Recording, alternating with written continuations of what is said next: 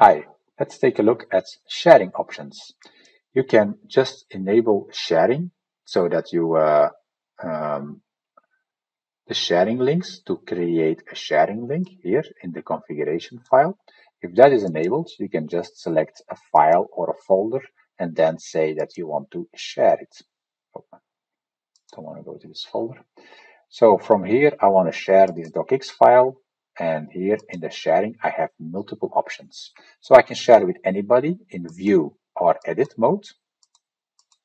I can indicate an expiry link. So if I'm going to share with everybody, maybe I don't want to share uh, forever. I just want to share it for one week, for instance. So I'm going to share it here for one week. You cannot have a sharing date in the past, nor have a sharing date that is less than 24 hours. So uh, that's a, that's an option. Then you can define if you want to view it or edit it, or you can specify specific people that you want to have for your sharing. For instance, I want to share with a person called Igor Stuiver. Let's see that I have some contacts here called Igor or have Igor in the email address. So I can share with Chris Isaac or I can share with uh, this user Igor Stuiver over here. And then all of these uh, sharing uh, these persons will be shared. If you are sharing with specific persons, you cannot enable expiry. That is a SharePoint limit, so we cannot uh, uh, enable that obviously. So for this one, let's uh, take a look at sharing with a specific date.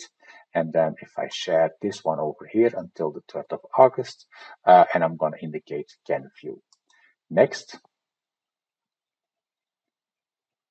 And I'm going to say done. So now I have a sharing link that I can easily use and, uh, and send out via email or save in Salesforce. All of those options are there.